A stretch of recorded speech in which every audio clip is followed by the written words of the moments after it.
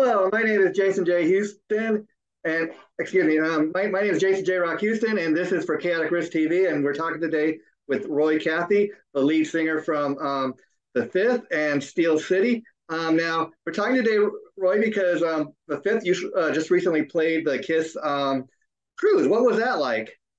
Well, you know, I mean, it was an incredible experience to say the least, and and you know, uh, first and foremost, thanks a lot for having me on again. Uh, it's it's uh, it's great to see you. Uh, Doing this now, and it's I'm really glad I embraced this. You know, I'm not real tech savvy. I have a friend that kind of encouraged me.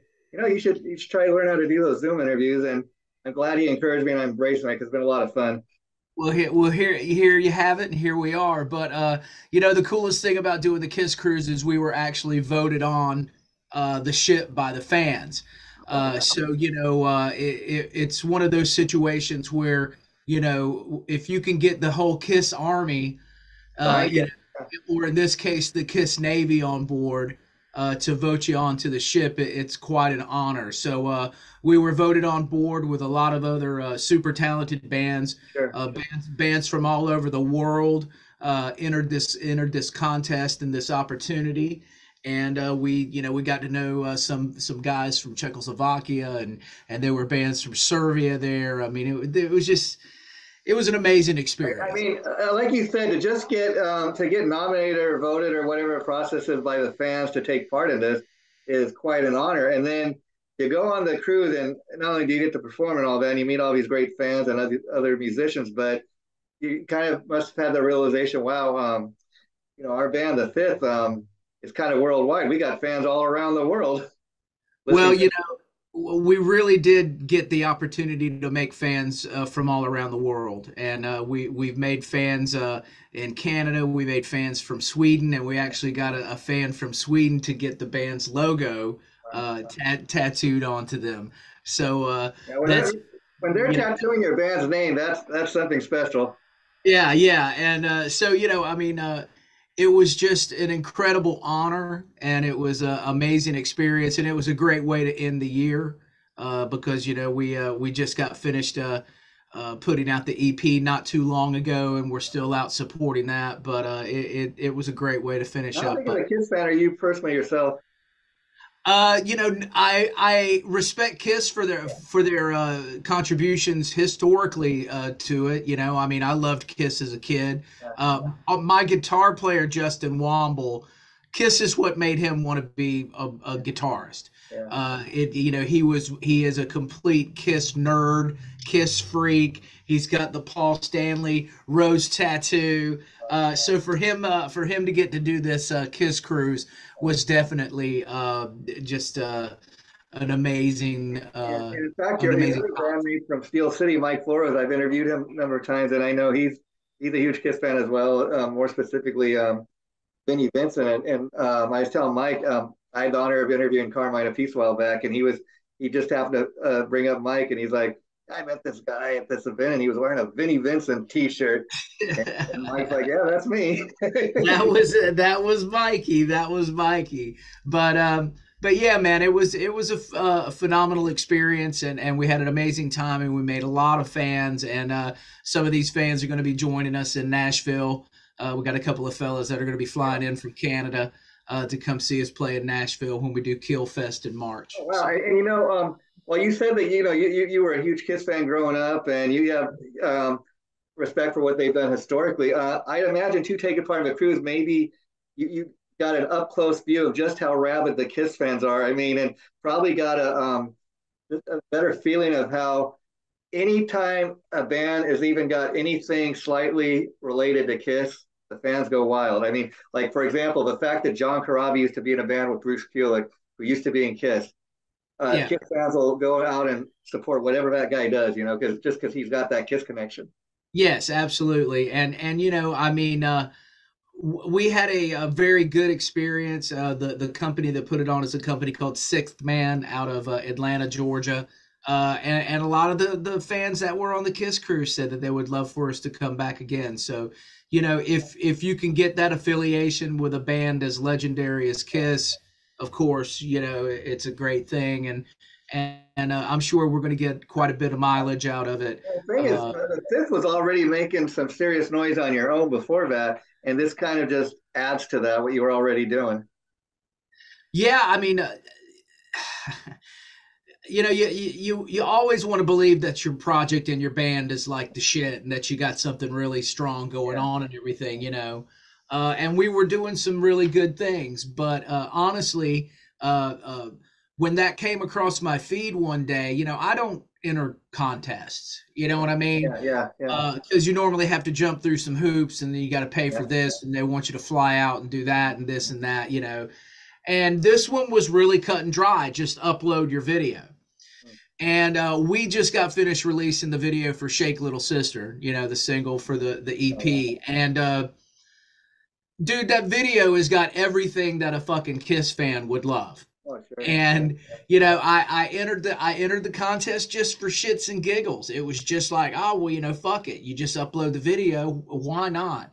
Yeah, yeah. And somebody that's been in the music business as long as I have and as jaded as I am, I did not think that it I stood a chance of yeah. us winning and uh and yet here here here we did you know yeah, so. i also seen earlier i didn't get a chance to read the whole um post uh, that you posted something about um kind of thanking your friend marc ferrari if it wasn't for him um you know you don't think you'd be where you are today talk a little bit about that well you know i mean you know if if if i hadn't have gotten the chance to uh, audition for cold sweat audition for for mark yeah. uh, which the band was called ferrari at the time you know, uh, I, I never would have gotten a chance to do the entire cold sweat experience. For people know. that don't know, you're you're actually the guy that replaced um, Oni Logan in that project when he left to go do Lynch Mob, right? Yeah, yeah, uh, and uh, you know, I'm the guy that replaced Oni. They they had like a six month singer search, and uh, they they went through all these guys, and uh, you know, oddly enough, I, I was uh, singing in my old band uh, Gibraltar we were playing down in Florida, and that's where uh, Oni was originally from. And Oni's best friend, a cat named Eddie Law, come up to me one night and said, "Hey, my my best friend just quit this band that was signed to MCA Records, and you know they got Wendy Dio as a manager, and Marc Ferrari's a guitar player from Keel, and blah blah blah." He gives me the phone number. I think he's full of shit. Long story short, you know, but and were you, were you, kind of, were you kind of starstruck when you met Mike? Uh, um, I mean, Marc. I mean, were you at all a Keel fan, or at least aware of who he was? Well, you know, I mean, one of the first concerts that I went to was Keel, Helix, Krokus, and Accept. Oh wow! Out, a... out at out at my you know uh, arena here, yeah. uh, where I was growing up, and uh, so you know, I mean, if you would have told me, hey, you know, six years from now you're going to be in a band with that guy with the blonde streak, I would have I would have told him you were you were crazy. I was familiar with Keel, uh, and and as far as like being starstruck, man, I was a kid from North Carolina playing the bar scene on the East Coast. I'd, I'd never been on an airplane before until I flew out to Los Angeles to audition for the band. So when you get that you know, chance, and you get that call to go and audition for Cold Sweat being so young and naive, you must have been at that age. You must have thought, okay, I'm going to get out to Hollywood. I'm going to live a rock and roll dream. It's going to be just like you see on TV. And then you find out it's quite a different thing, huh? You know, it, it is quite a different thing. You know, at first it was quite the fairy tale, you know, because it was like I, I flew out there, you know, uh, uh, they immediately wanted to go into pre production for the record uh, my parents had to mail all my clothes out there. Oh, yeah. I had I had nowhere to live. Wow. Uh, Wendy was going to Europe for a couple of weeks, so I'm like, I'm living at Wendy Dio's house in Encino, California. How, how good were her and Ronnie to you? The reason I asked, I heard, I heard what kind of people they were. I heard great Craig Goldy tell the story. Abs- absolutely, absolutely. Ron- Ronnie was an amazing man and, and had a huge influence on me, uh, vocally as as well as uh, you know just just your attitude of how you uh, interact and act with your fans so. Yeah. I mean i heard i heard the other guys in black sabbath talk about that ronnie when they do a show he was always the last one back at the tour bus. They're already going he had to shake every fan's hand and, and and he had a thing about where maybe he'd see some fans on the road every single year and he'd, he'd make a point of remembering their name. They were he would he would absolutely remember their name and and i have a story to vouch for that uh, when when Cold Sweat was out on the road with Dio, it was the Lock Up the Wolves tour. and uh, one of our guitar techs was a very original fella named uh, uh, Chris Durant. Okay. Uh, he was um, a uh, a black fella that looked like uh, uh, Samuel L. Jackson, okay. but, but but he dressed like a biker. So he had a very original look, and he always wore red Chuck Taylor Converse. Great guy, but you know, black dude running with a bunch of metal guys. yeah, yeah. He definitely, he definitely, you know, definitely stood out, you Yeah. know, um, back in, you know, late 80s, early 90s. But he was part of our road crew and we loved him like a brother. And I still love him. I, I talk to him from time to time. But uh, Chris went on to be a tour bus driver. oh, wow. And 20 some years later, he's driving a coach and he ends up in town somewhere on a night off that Black Sabbath, right before Ronnie passed away. Heaven and Hell was out and he got to go catch the show. And because he knew all the other coach drivers, he was able to get credentials and he was standing on the side of the stage. And he hasn't seen Ronnie in 20 some fucking years. wow. wow. And Ronnie's up on stage doing his thing, right? And he kind of looks uh, and and Chris is standing next to uh, a old friend of Ronnie's and a personal assistant named Willie. okay. And Ronnie looks over and sees Chris and breaks in mid verse while there's a solo, runs over and goes, Chris, Chris, wow. so great to see you. I can't believe it. He goes, Are you going to stay for after the show? Please tell me you're going to stay and have a pint. Yeah, Ronnie, I'm going to stay. So, all the stories about Ronnie remembering your name, it, I, it I was, bet it that that was like a great uh, kind of uh, learning learning uh, thing for you. Like, okay, like a legendary guy like that treat can treat people like that. That's that's the way to do it. well, you know, you, you definitely want to treat your fans, you know, because you're if it wasn't for your fans, you're not gonna you're gonna be nothing, you know, and, and no matter what level you're at, you Yeah. know, from the from Yeah, the was curious bars. if you, if you had a chance to see the Dio movie, um, Dreamers Never Die.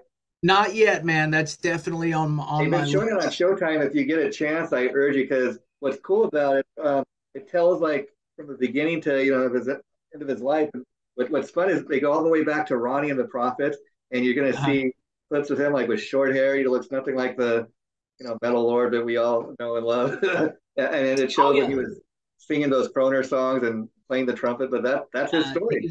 yeah, that's his story, man. You know, but uh, it, it was an amazing time in my life, and um, you know, Ronnie was Ronnie was a hell of a guy. And then I imagine, you know, from the time you auditioned um, for Ferrari and you were you, you were joining Cold Sweat in that, um, you know, I, you guys even have done a reunion, right?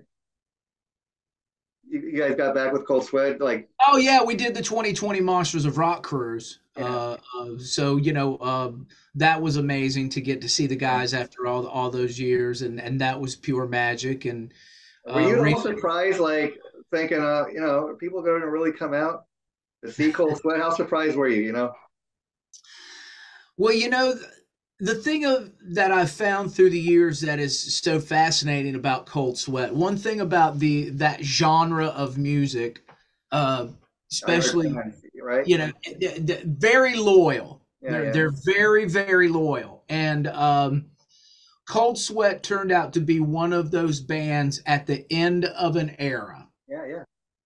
And if you know, you know.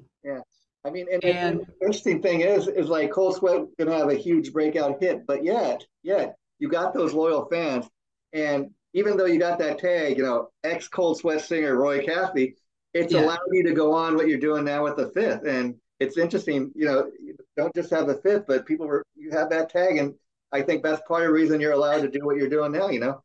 Well, I mean, you know, it, should really be called Cult Sweat Yeah, because yeah, yeah. I mean, we definitely got a cult following, uh, and we found that out when we did the Monsters of Rock cruise in 2020. After 30 years, we reunited, and it was absolute magic. And and I'm telling you, man, to have people come up to us from Japan, Wow. Germany, yeah. Peru, Bolivia, the UK. I mean, I could go on and on, and they were like, "Man, that record! I love that record. You know, that record really has a, a special place in my heart." And uh, you know, it's one of those records that people, you know, almost hold it as like a a, a, a badge of pride. You know, on the record, or is it out of print? No, it was uh, re-released. It's been it's been put back out.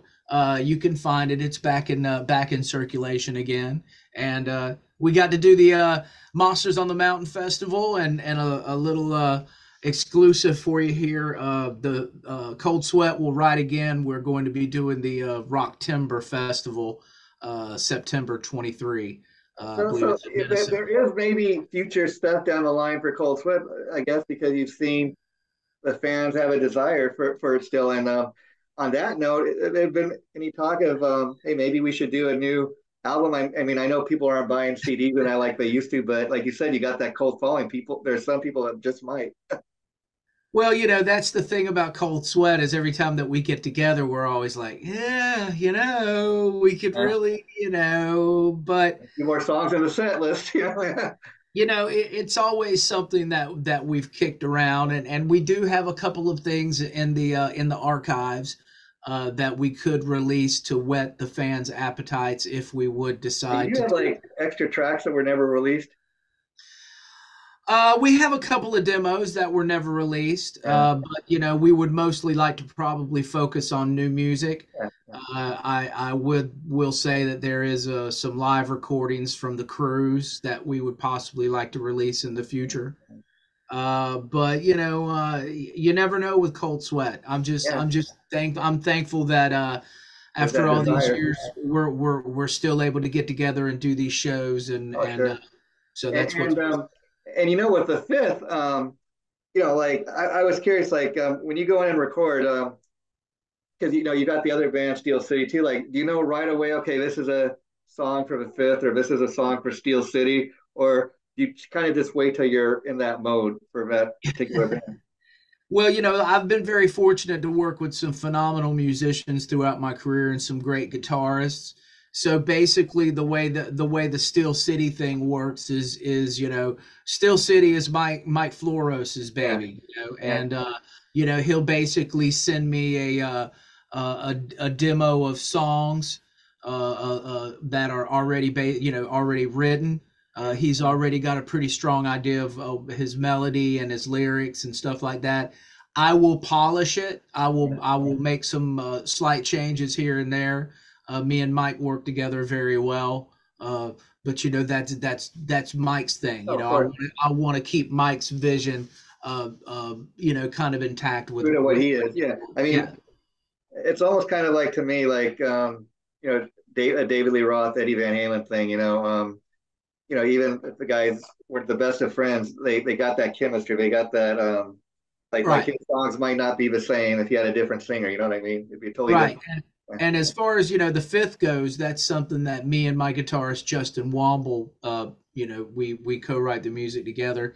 Justin's phenomenally talented songwriter and guitarist. So, you know, I've been real fortunate. You know, I've got guys that are like, you know, you know, Justin will shoot me a demo and and it's it's already written and arranged and and it's just you know, yeah. chef's kiss. You know, all I've got to do is come up with lyrics and melodies and and uh, and and I'm looking forward to digging in this weekend uh, some more writing. And, and, like between the fifth and Steel City, you know, we talked a little bit about too before about um, out of the previous band Cold Sweat that you were involved. With. What's it like to uh, be involved with like I guess the fifth specifically, where it's kind of your band and you, you don't you're not kind of the side man, you're not kind of in somebody else's band. You get to kind of call the shots, and it's your it's your project, if you will. Yeah, well, you know, the fifth has been my baby, you know, uh, for years. You know, I started it when I moved back to North Carolina. Uh, this this is what I have found is I, I am identified as as the singer for the fifth yeah, as yeah. much as I'm known as the singer for Cold Sweat. Yeah. Uh, so you know I'm very fortunate. You know, and you made points earlier. You know, Cold Sweat made me uh, capable of doing the uh, the uh, the fifth stuff, and uh, the fifth traveling and being able to do festival is how I came in touch with Mike Floros because Steel City and the fifth were playing a festival, and and he f- was familiar with me in Cold Sweat. So and, and it's cool because Cold Sweat, well, that may be your past, but a lot of people know you from originally.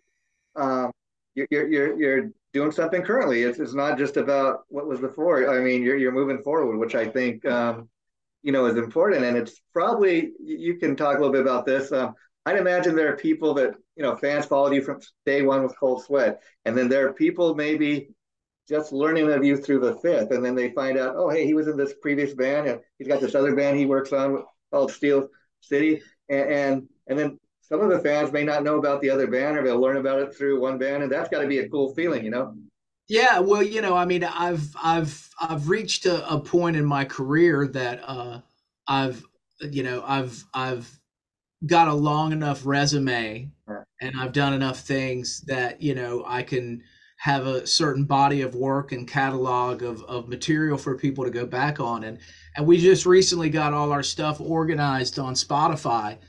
And if you go through all the fifths material from the beginning to, to where we're at right now, I'm extremely proud of the body of work. And there is there is a lot of great songs that the fifth has written and has put out that an entire world hasn't even heard yet because we've never been really signed to a major label. But I, another I, interesting part of your story is um, you've been able to have, I guess, this level of success, if you will, without having a, a record deal. I mean, there was a, there was once upon a time a, a time when a band had to have a record deal, but that's not the modern modern day um, model, you know. No, no. I mean, I've I've been a, a, mom and pop business for the past 20 plus years. I've I've been a, a, a small business. Yeah, yeah. I've been running this thing. I've I've taken this band to Japan. Uh, we've we've uh, played multiple states, multiple festivals throughout the United States. Uh, you know, I mean, I've gotten distribution deals, you know, major distribution deals worldwide for my music. You know, it's it's a whole different landscape out there now, and and it, it's not as easy as it used to be. Oh, no. uh, but it wasn't easy before. But before the labels gave you this uh, yeah. certain uh, fake uh, feeling of security, you know, because you were signed, you had this money behind you, and, and they were putting you out there on the road. But you you had to recoup if you owed that money, and if you didn't pay it back, you were you were shit out of luck. I mean, you know. Yeah. Yeah, even look at a band like Kiss. I mean, um, if they were if they were a band just coming out of the gates today, um, I, I, don't think they would have um, been around 50 years. Not because they weren't a good band, but if you know anything about their story, the first three albums weren't selling. They're about ready to yeah. be dropped. If, if Kiss Alive One didn't do what it did, yeah, they, they would have been dropped. You know. Yeah, I mean, I I really feel for you know. my son sings in a in a in a metal band, you know, punk metal band. You know, he's 19 years old. They're called Crooked Cult, and uh, they're out there doing the damn thing. You know, they're all teenagers. It, it it's like I'm I'm watching my life play back in front. Yeah. How you know, but, do you think you were on him wanting to? Yeah but you know it's it's crazy to you know to see these kids what they're doing now and the obstacles that they have to yeah. you know in a lot of ways it's easier for them in a lot of ways it's not you know because we didn't have the huge uh, uh, access to so many people there, there's yeah, an instant yeah. audience out there for people now and, and see I, I think roy part of the reason you're so successful at what you do is that it is a do-it-yourself kind of business i mean um, the fifth i'm talking about because you could hire a manager that could maybe do what you do, going to charge you a lot of extra money. He's not going to be as dedicated maybe to promoting your. I mean, it's essentially like a guy at a record company got got ten other bands on the label, and um, like you're saying, if your if your EP's not selling out the gates, they're gonna they're gonna drop you. And then you know who's gonna do a better job of promoting your band and your music than a guy in the band, you know? Yeah, well, ab- absolutely. You know, and and you know, I, I'm not gonna lie. You know, I've I've got a great support network through the yeah. years. I've, I've had you know managers and management and and booking agents, and I've mostly used my my resources and and, and used their knowledge uh, to kind of help me get from point A to point B. Uh, but you know, I mean, the majority, if not all, of the accomplishments that have happened positively for the fifth over these past 20 plus years has come through me grinding and me just and not me not stopping. because i imagine you're the one constant through the last 20 years that's been involved in the fifth you know? Probably. well i mean look i mean who who sings for whitesnake? Yeah, yeah coverdale yeah Okay, yeah, who sings for the fifth? Roy Cathey. You know yeah, what I mean? You, so, yeah. you know, I, I started I started the fifth like Coverdale started Whitesnake, and that and that's kind of what I, I have always viewed it as. Yeah. Uh, and uh, it, it's it's just I didn't realize that the band's name was so closely attached to me. Uh, and it is, uh, and I'm I'm proud of what we've done in in our little neck of the woods. So. Mean, as you should be. And, you know, um, like you're talking about the modern day of the music business, I mean, um, the, the, fact that you get fans voting you to for your band to take part in the Kiss Cruise, fact that, you know, your EP's selling. I mean, I talked to somebody the other day, they're telling me, I, I don't really buy CDs, I don't buy physical product.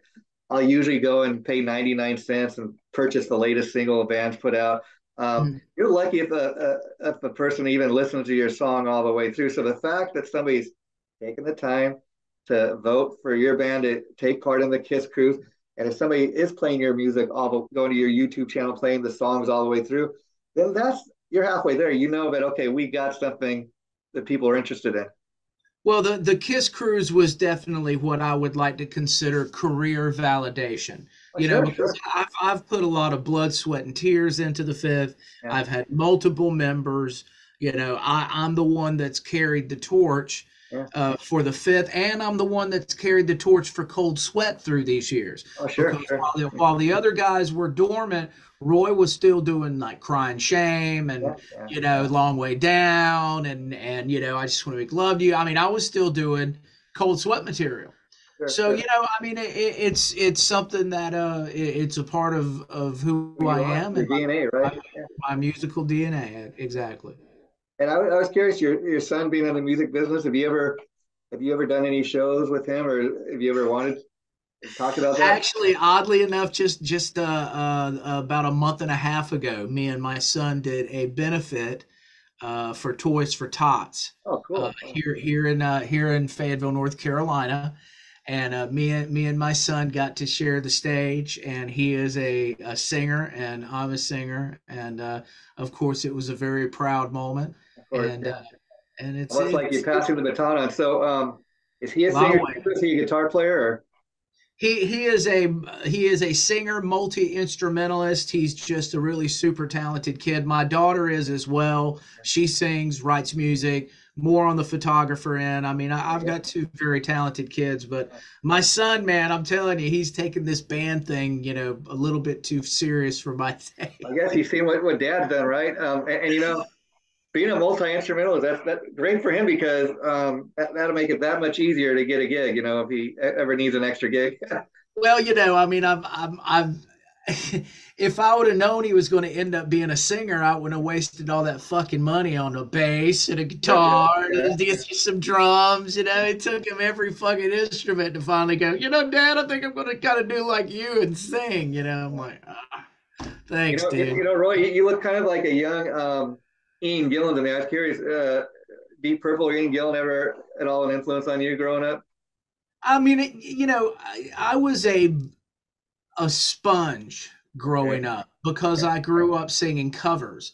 So uh, you know, I I love the uh, the Deep Purple uh, Perfect Strangers album. Uh, Ian Gillan was fantastic on that record. He was also had some good stuff on the Born Again uh, Black Sabbath record. He was uh, uh, you know, definitely one of one of the greats. So, and you know, you know, Coverdale, you mentioned earlier, all, another one of my favorite singers. You know, and um, maybe it's because of my age, but I had no idea. Um, you know, um, I, I knew him from Whitesnake, of course, when, the '87 album came out and Slide It In, and then come to find out, the singer on that Deep Purple album, Burn, that's actually Coverdale.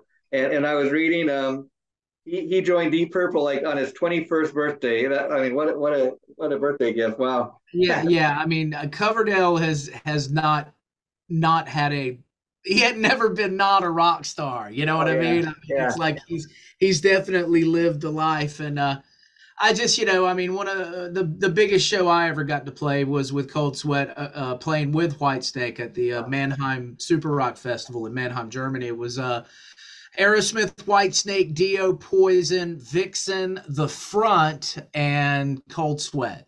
Oh wow! So, so uh, and believe it or not, um, I was on the patio playing a show in Fayetteville, North Carolina, at this venue called It's, this big oh, multi multi complex called It's, and this was 2000.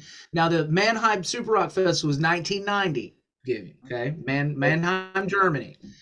Fast forward 2003, I'm uh-huh. playing a show in Fayetteville. Wow, wow. And, and this guy comes up to me, I shit you not, and he goes, Mannheim, Germany, 1990.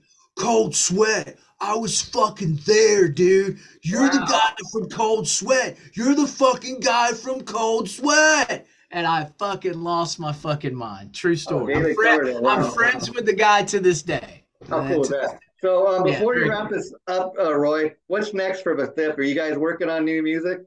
Yes, uh, you know, as you may or may not know, we've recently been signed by uh, Ron Keel's new label, RFK. Oh, congratulations! Wow. Thank you very much. RFK Media, Ron Keel, the Metal Cowboy, has uh, started a new label, and we are the first band that has been signed to his label. So we are very honored indeed. Uh, we just got finished releasing uh, a compilation CD with Ron where I'm singing a duet with him called American Thunder. Okay. Uh, you you can go find that on rfkmedia.com. Uh, but um, we are in the midst of writing the first full length release of uh, Fifth uh, under RFK Media. So we're writing new music. Uh, we're taking a couple of months off to do that. We're hoping to be recording sometime uh, spring, summerish, and be on the road during that time. And you think well. the new full length will come out this year or next year? It's coming out this year. It's got to oh, come right, out. All right. Well, yeah. you know we're going to have you back, Roy. And I want to also say, um, you guys are playing the Keel Fest. Is that not correct? Yes, we will be at the Keel Fest March the 18th at uh, Bowie's in Nashville, Tennessee. That's in conjunction with the Rockin' Pod Convention. You okay. need to think about getting down there. That's a great event. So okay. you need to come out to that. So the Rockin' Pod Convention in Nashville, Tennessee, uh, that runs uh, through March believe it's the uh, 17th and the 18th, but we are definitely playing March the 18th at uh, Bowie's in uh, okay, Nashville. Um, Keel Fest. Roy, before, before I say goodbye and wrap this up for today, um, thanks for um, thanks for being so patient today. But um, we want to invite you back and see um, how the Keel Fest event goes, and because that'll be fun to hear about. So let's plan to do that. And um, I know it's getting late, so I'll let you go, Roy. Thanks for doing this. Um, have a great no night. The we just did, I'll be posting it probably sometime next week. Once I have a date, I'll let you know and feel free to post it on all your sites. Okay. Please, I sh- I will. Everybody's anxious to see it, and uh, once again, man, great to see you, and I uh, appreciate it. And be safe out there, and thanks okay, for keeping. we will keep in touch, and we'll let so much time go between interviews. Take care, my friend. Awesome. Thank you, buddy. We'll see you. All right, later.